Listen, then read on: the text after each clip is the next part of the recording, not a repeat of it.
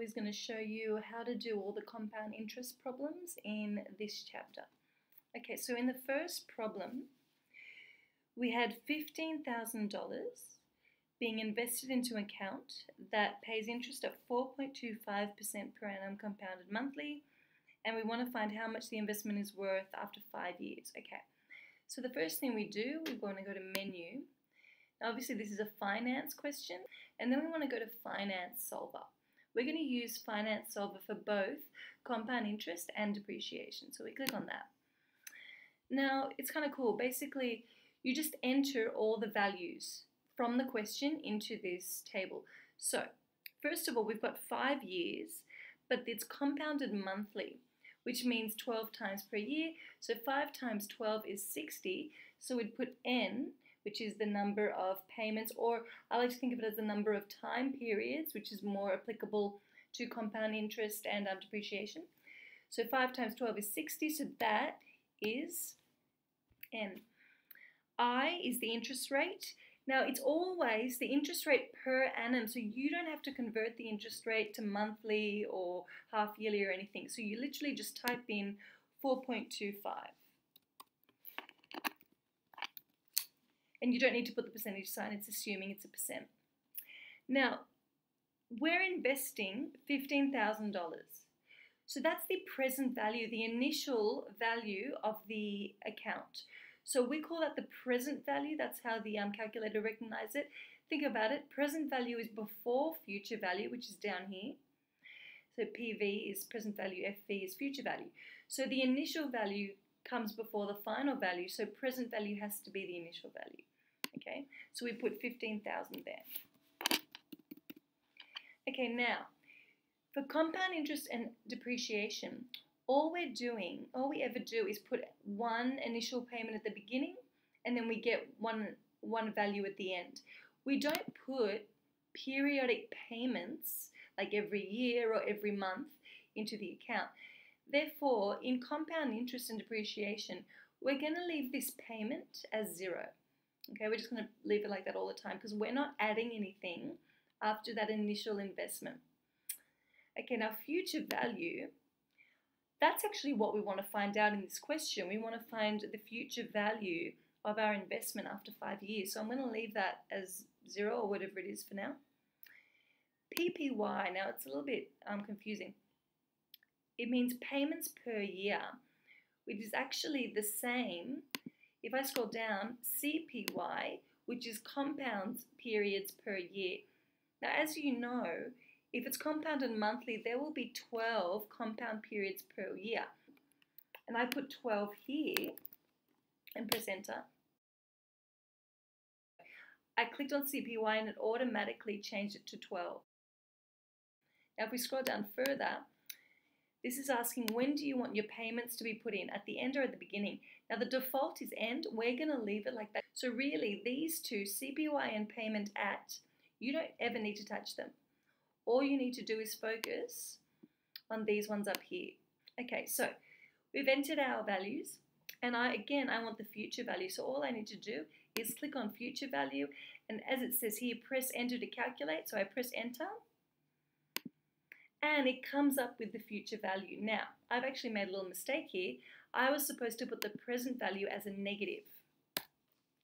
The reason for that is when you invest money you actually take your money out of your savings and put it in an investment um, investment account. So therefore, you're actually losing, in a way, you're losing $15,000 out of your savings.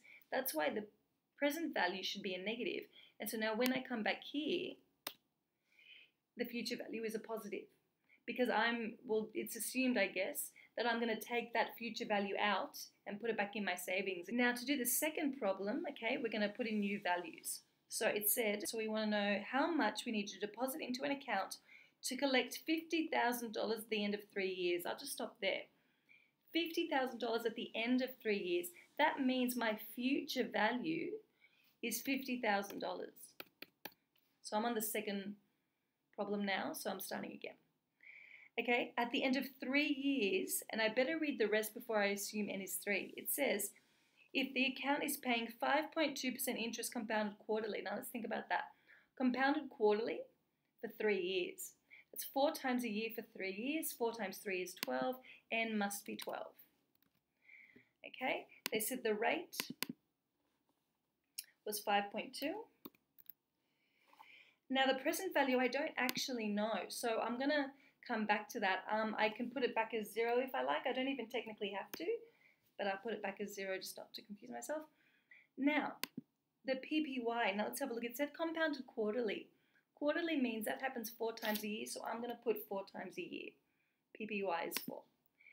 And now we've put all our information in, so we're going to go back to present value, which is the amount I initially have to deposit. So I press enter, and I get that. $42,820 and I guess 99 cents. Okay, so that's problem two finished. Now we'll go to problem three. It said, how long must we invest $40,000 at 6.45% per annum compounded half yearly for it to amount to 10,000. Notice we have the present value and the future value.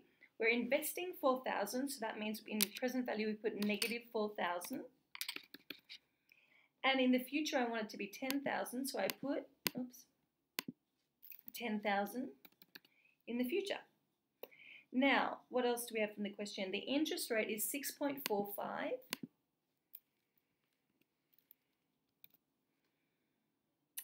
And compounded half yearly, that means the PPY half yearly happens twice a year, so we're going to put 2 there. Now, I've put all my information in, but I want to know how long it is, which means I want to know n. So I go to there, press enter. n is 28.8678, but we have to keep in mind that we're talking about half years. Because remember, when we put n in in the past, it's the number of time periods, and our time periods are in a half years. So if you want to answer it in years, I would need to divide it by 2. So our answer is about 14.43 or 14.4 years. Problem in this chapter, it says um, we're depositing $5,000 into an account that compounds interest monthly. Two and a half years later, the account totals $6,000. What was the rate of interest? Okay, so it's a finance problem. So we're going to get menu, finance, finance solver. Now, n, it's two and a half years compounded monthly. So we would do 2.5 times 12. That's 30. The interest rate I don't know, so I'm just going to put it as 0. The present value is 5,000. So remember, we put it as a negative, so it's negative 5,000. PMT, we ignore that, it's 0. Our um, future value is $6,000 because that's what it's going to amount to. And it, our, our compounding is monthly, so I put 12 here. Now, I want to find the interest rate. So I click in the interest and press enter. And as we can see, it's 7.32% per annum.